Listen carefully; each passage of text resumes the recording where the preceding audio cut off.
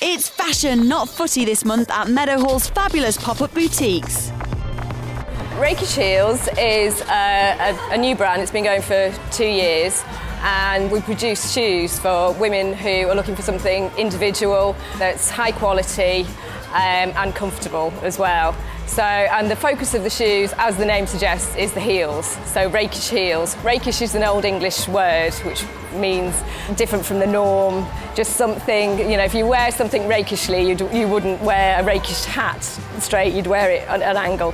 So uh, the, the heels are rakish, the, um, they're either a different shape, colour, uh, material than kind of general heels and, and they usually stand out from the shoe.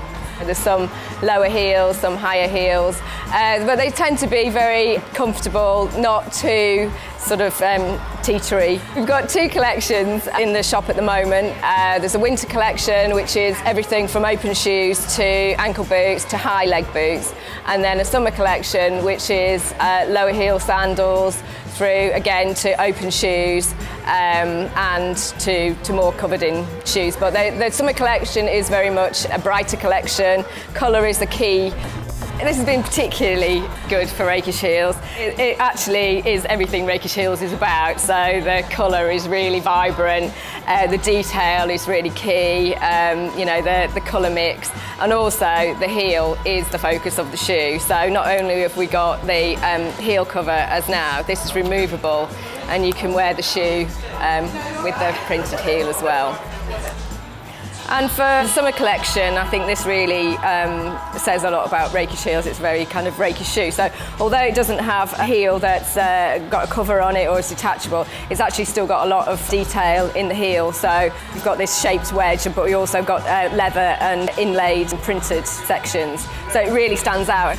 And this is one other that we've got for um, spring summer again with the detail on the heel so it's like an inlaid oriental scroll on the heel and with a double platform, which is actually from like an original 1940s um, style. We've, we've kind of taken the influence from there and then mixed it and made it very kind of rakish and modern. Meadowhall is somewhere that um, we, we heard about, that the, the pop-up boutique uh, concept was something that I'm really interested in. Rakish Heels have done a previous pop-up boutique in, in London and that went really well. Um, so the chance to do that here is fantastic, also in this space that is, you know, lovely space.